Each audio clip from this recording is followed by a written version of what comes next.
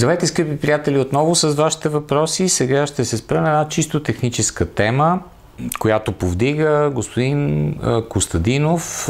Той се интересува от мазилните системи в болидите от Формула 1, дали използват сух картер, колко литра масло, какъв вид масло използват колите в Гран При в момента.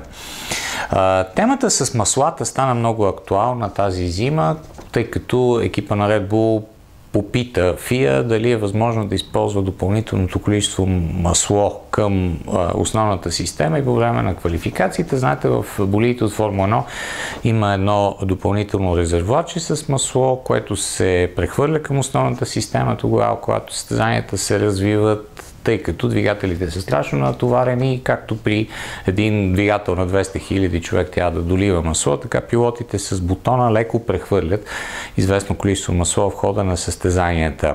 Въпросът бе предизвикан от това, че има съмнение и затова започна да се говори в падока, че Мерцедес още миналата година използваха това същото допълнително количество масло в хода на самите квалификации, като в самото масло пък се съдържат компоненти, които подобряват процеса на горене. Всичко описано много подробно в последния брой на а, списанието ни. Темата е много интересна, като а, в крайна сметка от, от отговора на ФИА, от това как ще се развият нещата в следващите седмици, месеци, а, ще зависи в най-малка степен, може би, успеха в първенството. И търсеше се голямата разлика на Мерцедес квалификациите в състезанията, а иначе като а, отговори на въпросите свързани с маслото, трябва да отбележим това, че автомобилите са с сух картер, тъй като понасят много тежки странични натоварвания 3, 4, 5G.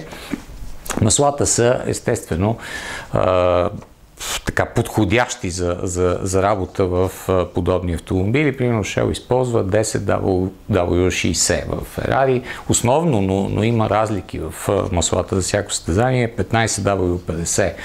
Мобил използваха в, в McLaren.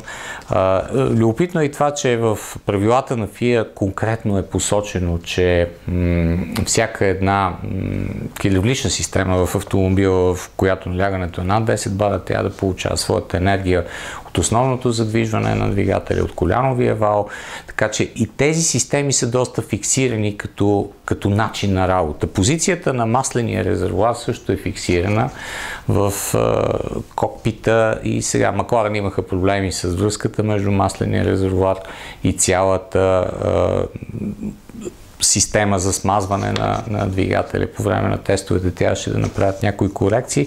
И в това отношение няма особено големи м, възможности за подобряване на представянето на автомобилите, но все пак съществуват и ето тези дребни неща, за които сега а, става дума с използването някакви минимални компоненти в, а, в самите масла, които да влияят на работата на, на двигателя става дума и затова Формула 1 е толкова интересна в крайна сметка, защото и там може да се опита всеки да, да подобри по един или по друг начин представянето си. Благодаря за вниманието, ще бъдем отново заедно съвсем скоро.